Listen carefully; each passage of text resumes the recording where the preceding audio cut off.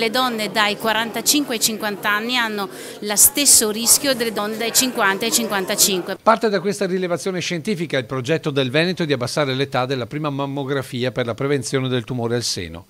Finora le soglie per il controllo di routine erano fissate dai 50 ai 74 anni, con quasi 200.000 donne che sono sottoposte a screening.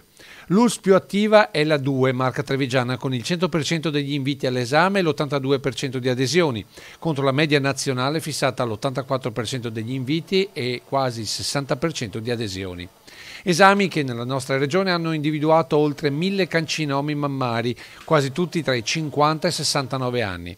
Ma in Veneto sono molte le donne di ben più giovane età che chiedono di potersi sottoporre ad una mammografia. Da di sotto dei 50 anni ha senso la mammografia qualora ci sia un'indicazione clinica, il medico o la donna si sono sentite qualcosa al seno al di sopra dei 50 come screening. Se non c'è un'utilità del fare la mammografia è solo un esame non solo inutile ma dannoso. Perché significa comunque sottoporsi a degli stress fisici e psicologici determinati magari da approfondimenti e risultati che poi si rivelano dei falsi positivi. Tutto questo che si chiama il rischio di sovradiagnosi, cioè diagnosticare qualcosa che poi di fatto non c'è, va tenuto da conto perché ogni esame inutile è un esame dannoso per la serenità delle nostre donne. Rimane comunque la fascia giovane per la quale la Regione Veneto, prima in Italia per risultati nella lotta al tumore al seno, ha deciso di avviare una sperimentazione che riguarderà tutte le donne dai 45 ai 74 anni della ULS 5 Polesana e 6 Euganea. Abbiamo deciso di fare un,